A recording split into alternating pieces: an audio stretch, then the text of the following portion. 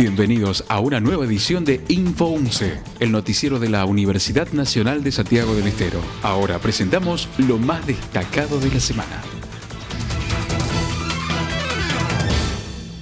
En la Facultad de Humanidades se encuentran abiertas las preinscripciones para cursar la cuarta corte de la Diplomatura en Lengua Quichua. Docentes de todos los niveles podrán especializarse en el conocimiento de esta lengua con modalidad semipresencial. La idea de la diplomatura era retomar el viejo curso de lingüística regional que se dictaba en la Universidad Nacional desde el año 1975.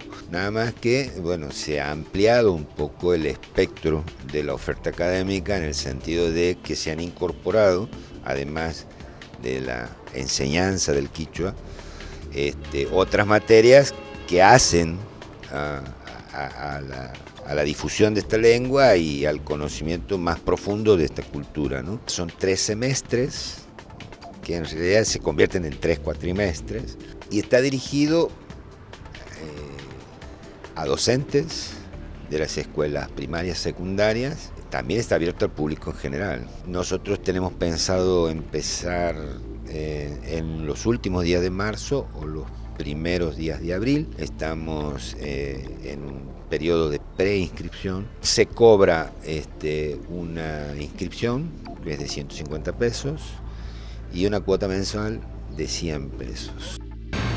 La editorial de la UNCE convoca a escritores para la presentación de libros. Investigadores, egresados y personal universitario podrán ofrecer al comité evaluador sus escritos para la selección y posterior publicación. La universidad acompaña a los autores en el proceso editorial bajo cinco líneas de colecciones: ciencia y técnica, medioteca, sociedad y cultura, cátedras y convergencias. Que hemos lanzado eh, a fines del año pasado la, la segunda convocatoria anual destinada a los miembros de esta comunidad, de la comunidad universitaria. Eh, la fecha de recepción de trabajos eh, termina el 31 de eh, marzo. Yo creo que es puro beneficio para el autor, no hay, porque digamos el autor del texto recibe primero su trabajo, su escritura, es un trabajo que está, digamos, acompañado por un corrector en, alguna, en cierta etapa y eh, el diseño, la impresión, la distribución, la difusión, la distribución y la venta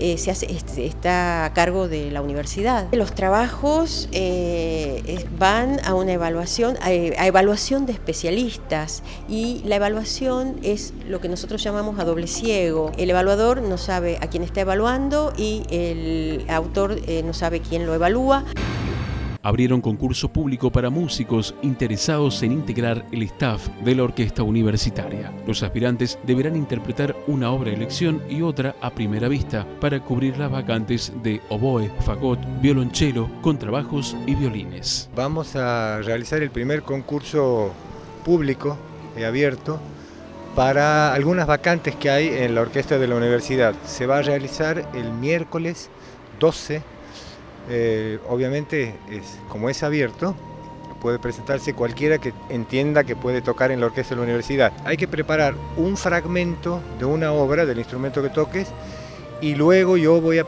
plantearles una obra a primera vista. Se han eh, solicitado seis violines, dos violonchelos, dos contrabajos, un oboe y un fagot.